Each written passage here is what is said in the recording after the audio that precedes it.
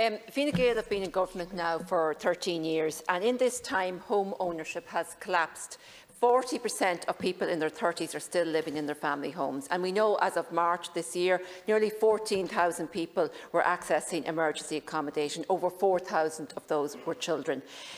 And due to the actions and inaction of the current government, workers and families can't afford to buy and they can't afford to rent. It's a vicious cycle. In my own constituency of Cavan Monaghan, house prices have risen by 6% in Cavan, 10% in Monaghan over the last year.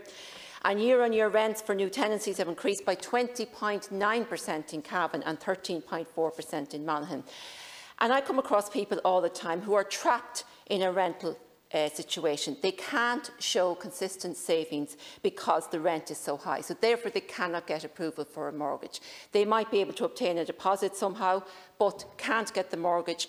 And therefore, even though the rent they're paying is considerably higher than a mortgage would be, they are trapped in that situation. I have other people I've come across who are refusing additional hours of work because they want to be remain below the social housing threshold because they know if they go above that they will not be able to afford rent whatsoever.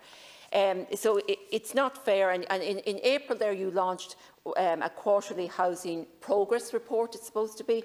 Um, In that, there was no update on social affordable to rent or affordable purchase houses delivered in the first quarter of this year. And this doesn't surprise me because in Cavan there are no affordable houses. I have questioned this with the local authority and they said there are none uh, available whatsoever. So that leaves a whole range of people who cannot afford to rent and cannot afford to buy.